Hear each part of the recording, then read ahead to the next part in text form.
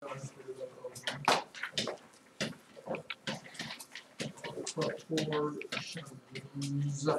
uh, really proportions are nothing more than, uh, equal ratios, which are nothing more than equal fractions, they all kind of mean the same thing.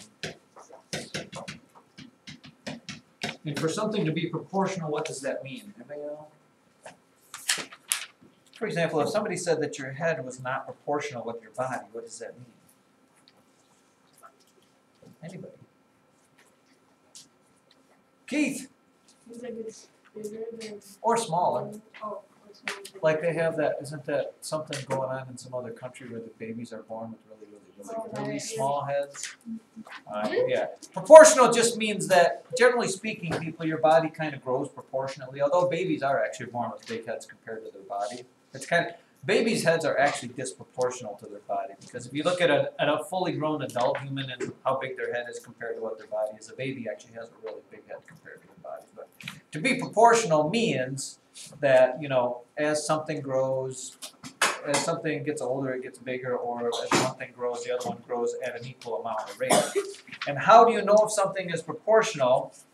Um, for example, oh look.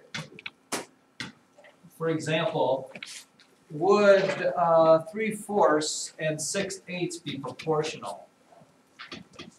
Or does the question you're asking is, would three fourths and six eighths be equal, yes or no? How do you know they're equal? Emily? Three times two is six, four times two is eight. Okay, there's a couple different ways that you can tell, by the way. Okay, you can do this where we make equal fractions by multiplying the top and the bottom by the same thing. Another way you can tell if proportions or fractions are equal, Elijah? You could divide eight by four and divide six by, I, you could divide eight by two. Okay, you can multiply or divide. Another way after that. And here's a good way. Yeah, you could reduce, but here, think about this.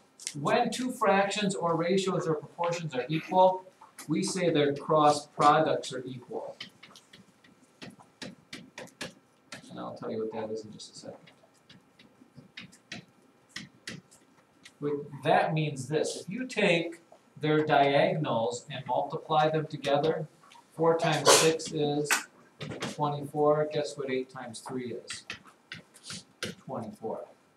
If two fractions are proportional or equal, their cross products, when you multiply on a diagonal way, you're going to get equal numbers there. That, by the way, is also a way that you can tell, since you're sixth graders, now I'll fill you in on this.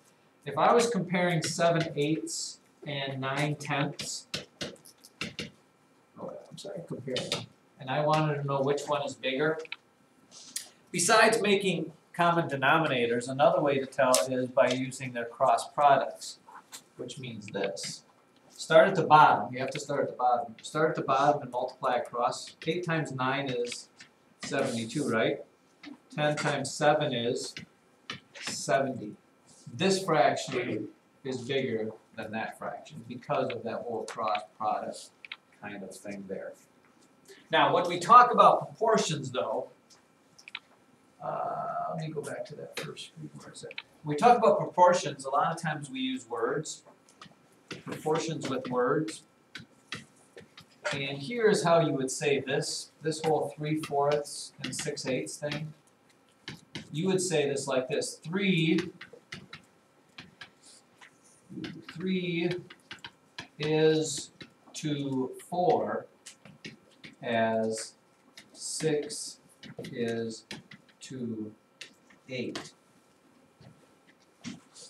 Three is to four as six is to eight. And an example of when you might use that, um, let's say three candy bars cost four dollars. For things to be equal and proportional, six candy bars would have to cost eight dollars.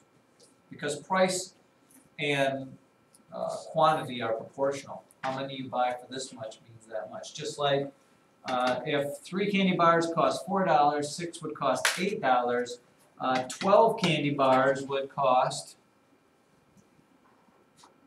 make an equal fraction to this, how much would twelve candy bars cost? Elijah? Nine choice. Oh, no, um. Sixteen. Yeah, sixteen dollars. And that's what it means to be proportional and kind of equal and proportional and all that sort of stuff there. Um, so, here's one they're gonna ask you, complete this proportion. Complete this proportion. Uh, Two is to six as what number is to thirty?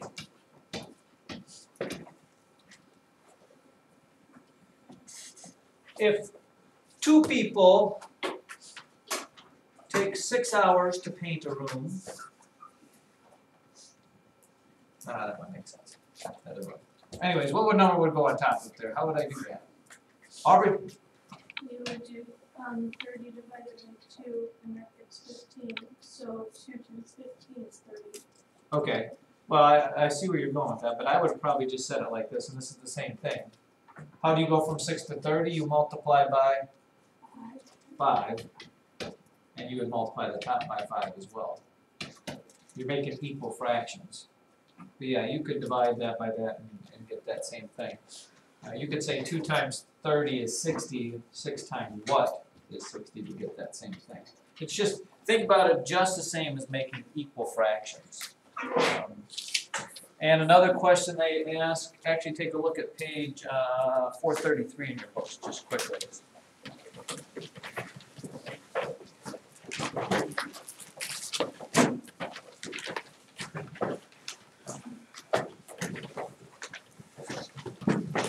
Look at practice problem letter A. It says which ratio forms a proportion with five halves? Which one of those fractions would be a proportion, or which ratio would be the same as five halves? Your choices are three halves, or four tenths, or fifteen over six, or five over twenty. Which one of those forms an equal fraction and proportion or ratio, and why, Riley Harrington? See, because um two times three is six and five times three is fifteen. Okay. Yeah, because if you take two times three, you get six, and if you take five times three, you get fifteen. Doesn't work for this, first of all, the bottom is the same here, so that'd be times one, so five times one, not the same. Two times five is 10, 5 times five is not four, 2 times 10 is 20, 5 times 10 is not that. This is the only one where you can make no equal fractions.